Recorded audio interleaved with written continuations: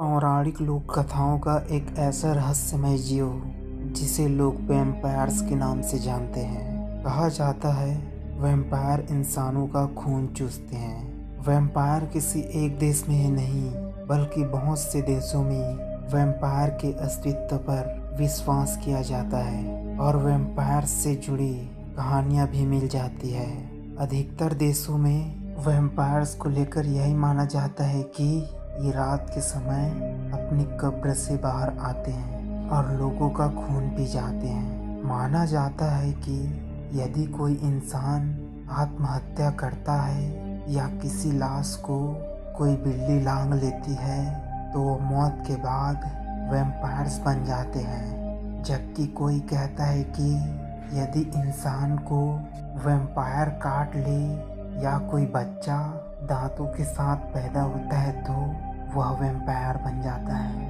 हालाँकि अलग अलग देशों में वैम्पायर के जन्म को लेकर भी अलग अलग धारणाएँ हैं और जिस तरह अलग अलग देशों में वैम्पायर के जन्म को लेकर अलग अलग धारणाएँ हैं, उसी तरह उसे मारने का तरीका भी अलग अलग बताया गया है। जैसे कि वैम्पायर को तभी मारा जा सकता है जब उसके दिल में लकड़ी के हथियार से वार किया जाए और आग से जला दिया जाए, या फिर सूरज की रोशनी से मारा जा सकता है। वैम्पायर की पुराने समय की बहुत सी ऐसी कहानियाँ हैं जिन्हें कहा जाता है कि वे असली थे। लेकिन अभी तक इनके होने का कोई भी पक्का प्रमाण नहीं मिल पाया है। इसलिए यह इस दुनिया में एक काल्पनिक जीव ही बनकर रह गए हैं।